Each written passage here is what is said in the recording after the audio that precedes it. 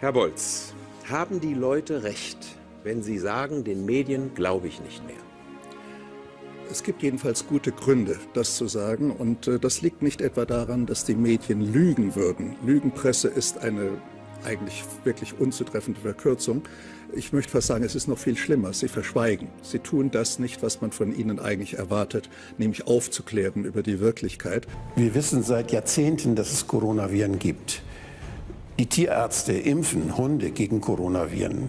Wir wissen, dass Schweine Coronaviren haben, dass äh, andere Tiere in unserer Umgebung Coronaviren haben. Bei Corona ist es so, es gibt nicht ein Coronavirus, nicht einen neuen Virus. Es gibt 20 Coronaviren, die die ganze Zeit bei uns mal Husten machen, im Winter mehr, im Sommer weniger. Aber das ist grippale Infekt. Wer hat noch nicht einen grippalen Infekt gehabt? Man kann ja fast von einer großen Koalition sprechen, wo unabhängige Wissenschaft bis hin zu Parteivertretern und Industrielobby einvernehmlich und gemeinsam die Öffentlichkeit täuschen. Ich finde das ein, ein, ein Riesending. Ein Beispiel aus der Medizin. Die Grippeinfektion nach Alter. Gefährlich für Kinder und Erwachsene mittleren Alters. Unbedingt impfen ist das Signal.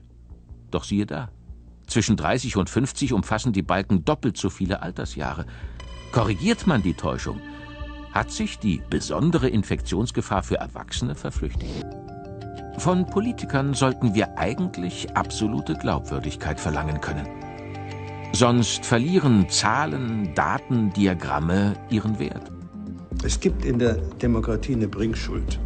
Und die haben, die Bringschuld haben diejenigen, die gewählt worden sind, die uns vertreten. Und die haben die Pflicht, uns Verbraucher und Wähler aufzuklären. Seit 2010 sind nach einer Zusammenstellung der Organisation Lobbykontroll mehr als 110 ehemalige Politiker von Union, FDP, SPD und Grünen aus ihrem Mandat ohne Umschweife und Scham in die Wirtschaft gewechselt.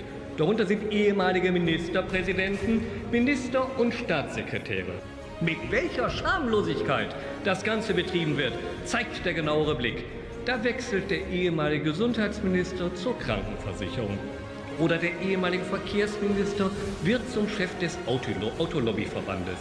Die Kontakte, die man in einem öffentlichen Amt geknüpft hat, so offen in die Wirtschaft zu tragen, widerspricht völlig der Verpflichtung aufs Gemeinwohl und der Verantwortung, die solche Ämter mit sich bringen sollten. Ich habe bei der Vogelgrippe erlebt, dass es dort äh, jemanden gab, der verantwortlich war bei der WHO für die epidemiologische Feuerwehr.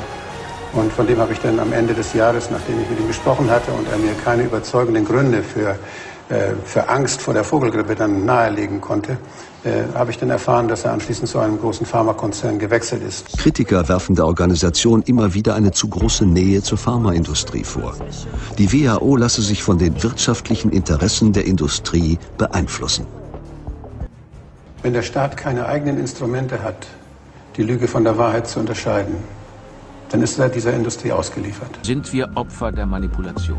In Wirtschaft, der Ernährung, in Medizin und Politik. Ich gehe davon aus, dass unsere Bürger mündige Bürger sind, dass sie erwachsen sind und äh, das ist auch die Voraussetzung von Demokratie. Wenn wir diese Voraussetzung nicht mehr wirklich akzeptieren und teilen, müssen wir ganz anders zusammenleben. Das will, glaube ich, niemand.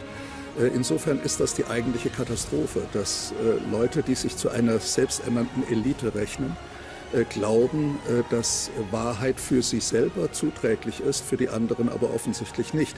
Und dass man die Bürger für dumm verkauft oder sie einfach für dumm hält, für unfähig mit Wahrheit umzugehen, das ist eine unglaubliche Arroganz, die von bestimmten Eliten ausgeht, sowohl bei den Journalisten als auch bei den Politikern.